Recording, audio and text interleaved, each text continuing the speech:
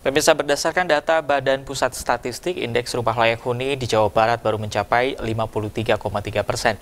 Kepala Dinas Perumahan dan Permukiman Jabar pun menyatakan kebutuhan rumah di Jawa Barat masih cukup besar, yaitu masih ada 2,2 juta backlog perumahan.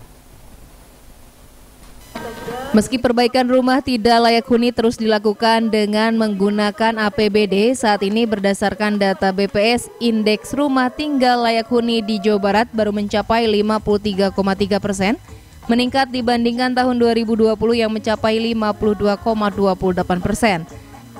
Kepala Dinas Perumahan dan Permukiman Jawa Barat Indra Maha mengungkapkan kebutuhan rumah di Jawa Barat masih cukup besar, saat ini pihaknya masih mempunyai pekerjaan cukup besar yaitu backlog kepemilikan rumah di Jawa Barat yang mencapai 2,2 juta.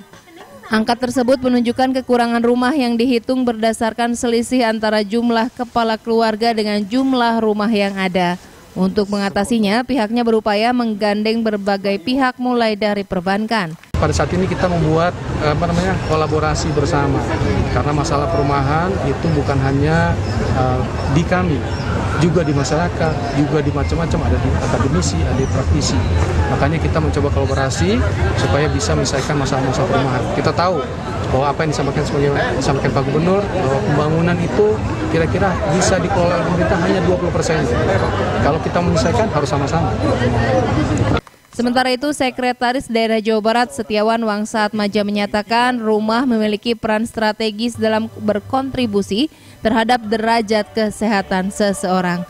Hal itu berdasarkan teori H.I. Bloom yaitu derajat kesehatan seseorang dipengaruhi empat hal yaitu lingkungan 40%, perilaku 30%, layanan kesehatan 20% dan genetika 10%.